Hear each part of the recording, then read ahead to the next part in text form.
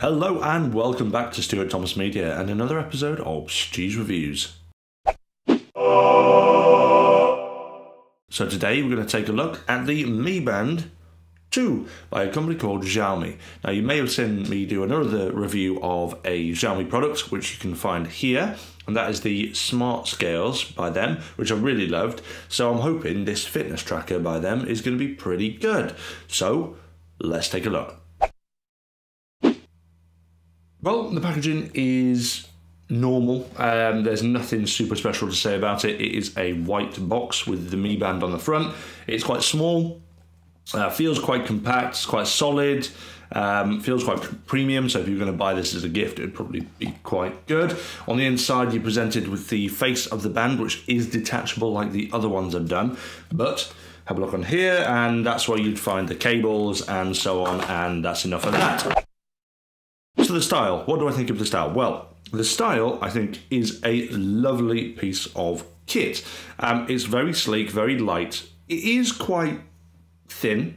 Um, I prefer slightly chunkier bands, but you can't ask for anything. It is a fitness tracker after all, and it is supposed to stay out of the way. Now, the uh, face is detachable as well, so you can remove it and you can change the bands to I've seen metal ones, leather ones, different coloured uh, sports bands, and this is how you charge it as well. So you remove it and charge it by uh, plugging the face into the charger. But overall, I think the style is quite nice. Let's have a quick close up. So we can see it's of a normal design. Um, like I said, it's a very thin band, uh, which is okay in some respects, but doesn't necessarily suit myself. Um, it's only got one clasp as well, so I'm not sure how durable that will be, although over the past few weeks it's been absolutely fine for myself. Um, one of the massive benefits of this, though, is the screen. I think the quality is wonderful. So we'll just tap this here, screen comes on. It seems very sharp. Um, I don't know if it's a, a, particular type of screen or anything, other than just a standard sort of LED one, but it looks really nice.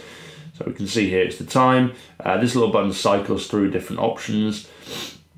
And it all, it's all accompanied with nice little graphics and little um, sort of transitions between the different settings and different information bits you can see on the display. And like I said earlier, this pops out. So you've simply just got the band on its own, which is very small, very, very light. Um, uh, so I think is actually not bad, really. Functionality. Is it any good? Well, it says it does all of the things normal fitness trackers do tracks your steps, your sleep, how many fats you've burnt throughout the day. Uh, it tracks your heart rate and it measures this all and keeps it in the Mi app. Let's take a look at that now. Now, this is the Mi app. Straight away, you're greeted with information that the device has uh, recorded about you. You can see in the center it shows how many steps I've done today, which is not very many. All honesty, I haven't actually been wearing it that much today at all. But if you tap in the middle circle, we can get more information about your step history. Also going, oh, starting to sing. Also going down, we've got things like weight, um, which syncs with um, the Mi scales I linked to at the very beginning of this. You've got heart rate, which shows um, how consistent your heart rate is. So that is the Mi app. Now I think it's a lovely app that's very crisp, very clear, very clean, and it also syncs up with things like Apple Health, so you can keep all of your health data together. Now, it, does it actually function? That is the question we need to answer. Now I tested this against a couple other devices. Now this is what I found. On the left, I was using a GPS tracker and Strava, which showed I did one mile. In the middle, we've got the Mi Band, which says I did 1.39 miles. So that is 0.39 over. And on the right, we've got the Apple Watch, which says I did 0.23 over what the GPS said. Now, there could be a very easy explanation for the fact that both fitness trackers said I did more than what the GPS said. And the simple fact is, I was walking up a mountain. Now I'm doing more steps, therefore, it calculates the fitness trackers a step as a distance, as a certain distance based on your height. So these, the fitness trackers will be slightly over the GPS, okay? Especially if you're walking up and down mountains. Not too much to concern yourself with because generally most people won't be walking up a mountain. Most people will just be walking to work or walking around the park, something certainly less strenuous. If we look exclusively at the two trackers, one is 1.23, the other is 1.39. That isn't too far from each other. What's that? 1.6? 1.6. No, 0.16. That is 0.16 of a mile incorrect or difference between them. That's not a lot. And to be honest, that is a discretion that most people won't be bothered about, especially just wearing it as a general overall fitness tracker. I also found that the heart rate was pretty much accurate as well, with one device saying 98 and the other saying 102. So there's actually only four points out there. And this was measured straight after the walk as well, so my heart rate is slightly elevated for that reason.